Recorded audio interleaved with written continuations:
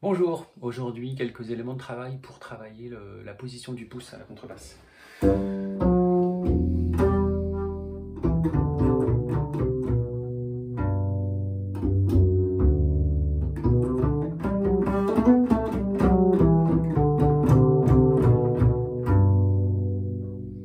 C'est joli, hein Alors, première chose hyper importante, comme souvent la contrebasse, souvent je pense dans n'importe quelle discipline, la position du corps. C'est vous qui êtes maître et c'est pas cette grosse chose là qui va décider. Donc elle, elle va bouger. C'est pas vous qui allez vous, vous mettre comme ça sur elle. Vous voyez là, là je fais ça. J'ai l'impression qu'elle ne bouge presque pas et c'est pas du tout ce qu'il faut faire. C'est l'inverse. On se met bien sur ses pieds, bien ancrés dans le sol, et les pieds au-dessus du bassin. Et en fait, on va vous appuyer par exemple le la bémol ici. Vous le descendez et au fur et à mesure que vous descendez, en fait, regardez bien, ici je recule. Ok Ce qui fait qu'en fait, à bout d'un moment, quand je recule mon bassin, naturellement, le manche vient se poser juste à côté du muscle de, de l'épaule, entre la fin de la clavicule et le muscle de l'épaule.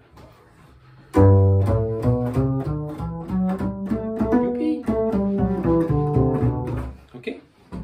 Donc une fois qu'on est là, je suis posé, peux bouger, il n'y a pas de problème. La contrebasse est bloquée là, dans l'aine, et ici elle est posée, j'ai les mains libres.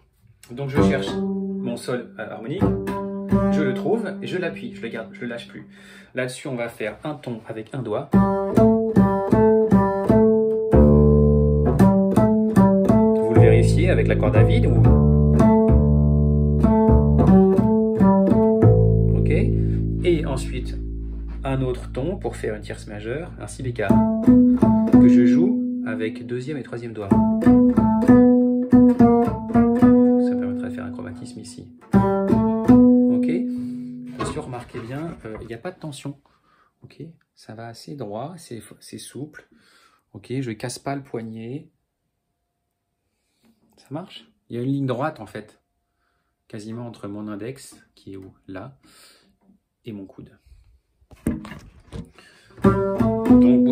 Là-dessus, vous pouvez vous amuser.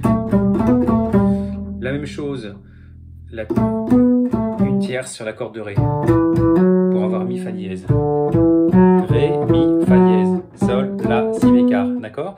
À partir déjà de ces six notes, amusez-vous à les mâcher, à les mâchouiller, à sentir, et puis à les- travailler la justesse, avec la corde à vide en plus.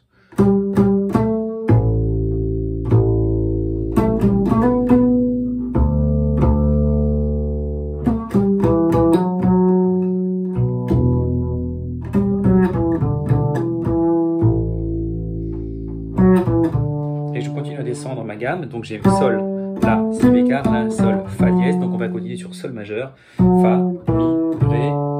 Là je vais avoir avec mon deuxième doigt et non pas un troisième, Fa dièse, La, Si, Do dièse et jouer Do bécard. D'accord? Attention, quand j'appuie un doigt, tous ceux qui précèdent en termes de registre, tous ceux qui sont plus graves sont appuyés. Hein. Je fais pas Parce que si je fais ça, tout ce que je fais, ça va me servir à rien en fait. Il faut rentabiliser votre travail. Rouleau de, rouleau de scotch.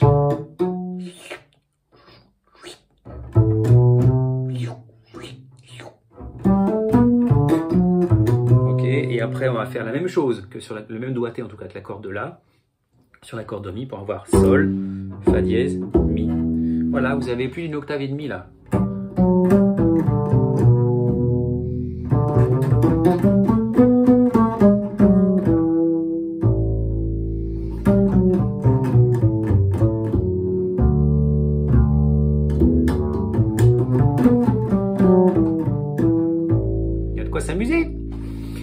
Voilà, euh, j'espère que ça aura pu vous aider. Je vous encourage à travailler la gamme de sol du mi grave aussi aigu par 2, par 3.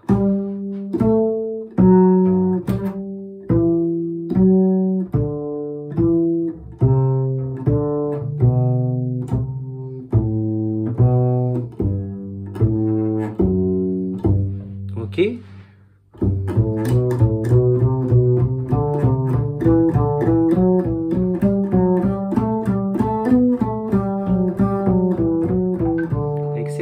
Voilà, doucement et pas comme je suis en train de faire, c'est-à-dire doucement avec un métronome, relax et surtout pensez à votre position du corps. Là, je ne me tiens pas bien parce que je regarde le téléphone, mais... Mes épaules sont cool.